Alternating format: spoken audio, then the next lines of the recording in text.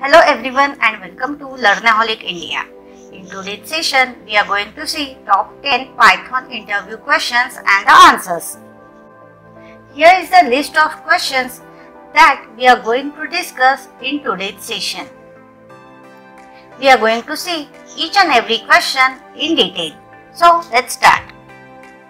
The first question is what is Python and what are the key benefits of Python? The answer for this question is Python is a high-level, interpreted, interactive and object-oriented scripting language. Python is designed to be highly readable. It uses English keyword frequently whereas other languages uses punctuation and it has a fewer syntactical constructions than other languages. Python is a programming language with objects, modules, threads, exceptions and automatic memory management.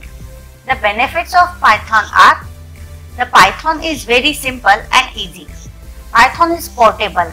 It is extensible. Python is built-in data structure and it is an open source language. The second question is, is Python case sensitive language? The answer to this question is yes. Python is a case sensitive language. A language is a case sensitive if it distinguishes between the identifiers like my name and my name. Here in the first my name all the letters are in the small letters and in the next my name the M is capital. In other words, it cares about the cases. For example, lowercase and uppercase. The third question is what is PEP8? PEP stands for Python Enhancement Proposal. It is a set of rules that specify how to format the Python code for maximum readability. PEP8 is a coding convention, a set of recommendations about how to write your Python code more readable. Let's move to the next question. The next question is what is a variable in Python? When we say name Tara in Python, the name is not storing the value Tara, but name acts like a tag to refer to the object Tara. The object has type in Python but variables do not. All the variables are just the tags. All identifiers are variables in the Python.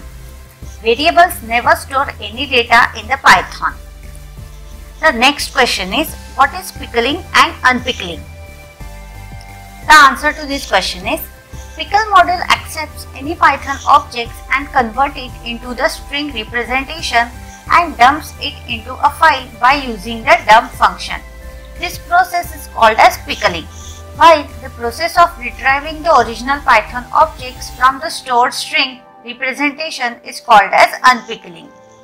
The next question is, how would you declare a comment in the Python? The answer is, unlike all the languages like C++, Python does not have multi-line comments. All it has a octothorpe. Anything following a hash is considered a comment and the interpreter ignores it. For example, hash line 1 of comment, next is hash line 2 of comment. In fact, you can place a comment anywhere in your code. You can use it to explain your code. The next question is what is the difference between the tuples and list in the Python? The difference between the list and the tuples is that list is mutable while tuple is not. Tuple can be hashed for example as a key for dictionaries. The main difference between the list and tuples are lists are enclosed in brackets and their elements and the size can be changed, while the tuples are enclosed in the parentheses and cannot be updated. Tuples can be thought of as read-only list. The next question is how memory is managed in the Python.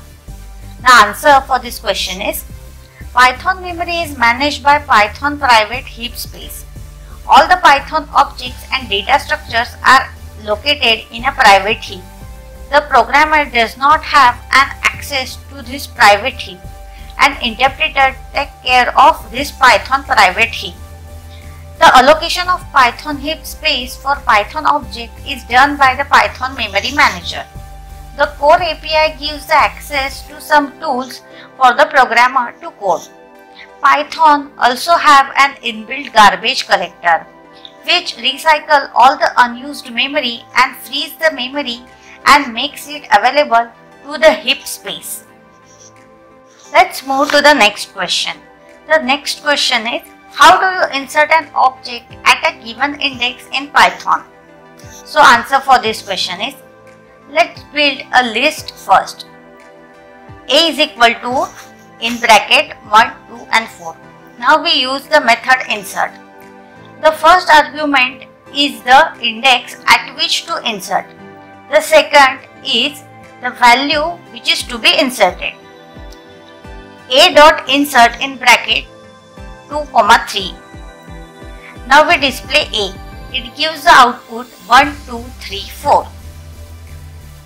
The last question is how do you reverse a list? We can reverse the list by using the reverse function. For example, a dot reverse method. So when we display the output for a, it gives output as 4, 3, 2, 1. You can also do it via the slicing from the right to left. For example, a in bracket double colon minus 1. a gives the output as 1, 2, 3, 4. This gives us the original list because we already reversed it once. However, this does not modify the original list to reverse it. Thank you for watching today's session. If you are new to this channel then subscribe to Learnaholic India and don't forget to click on the bell icon for the latest video updates. If you like today's video then like it, share it with your friends. Also if you have any query then please comment below. Remember one thing, sharing of knowledge is gaining of knowledge. That's it for today. Stay tuned for next video. Thank you.